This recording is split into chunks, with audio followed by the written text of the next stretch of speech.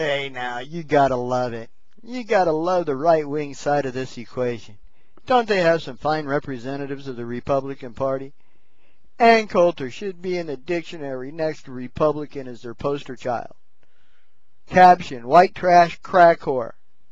Adam's apple, size of Mount Rushmore. She supports the Republican Party, but what else is she supporting? Jeez, makes you wonder what's underneath that dress. Oh, come to think about it, she don't wear a dress. Maybe it gets a little bit too much swing going on down there, matter of fact. But see, give me a break. You got somebody like this representing the moral high ground? And she's right there with Hannity, Bill O'Reilly, and Rush Limbaugh. Talk about white trash motherfuckers that give good old boys a bad name. That's what's wrong with the right. They let people like Ann Coulter, Bill O'Reilly, Hannity, the rest of the schmucks represent them. There's nothing good old boy about them. They they make bank by talking trash. All they do is sling shit on a never-ending basis, and they're good at it. I'll give them two points. They are damn good at it. You take Ann Coulter. Look at how much trash he is putting towards direction at Edwards. You know what that tells you?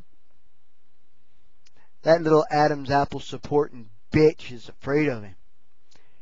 You know, they got to run with this. Oh, he doesn't support the the lower income and the and the working class of this this country.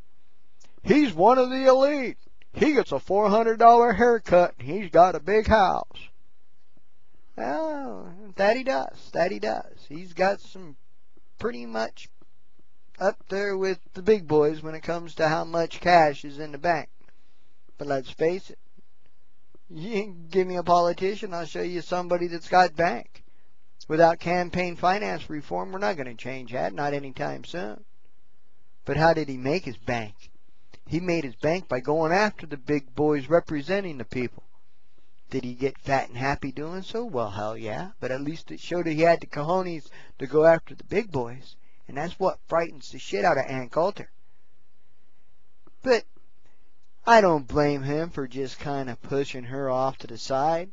Because if that is what the represents the Republican Party, they can have it. And if she is the representative of the moral high ground, I'd soon dance with the devil. Because when you start lying to go to war, little things like that, I think you've lost moral high ground. Seems to me that, oh my God, homosexuality, it's a sin. But so's greed, gluttony, and vanity. Seems they forget about those three, don't they? But again, let's face it, if the deadly sins were Olympic events, the good old United States would win gold across the board. Ann Coulter, get a life. Haters like you are old school, and it's soon to be your end time, so to speak. Your career is going to go through its own Armageddon because people are sick and tired of hating ass little punks like you.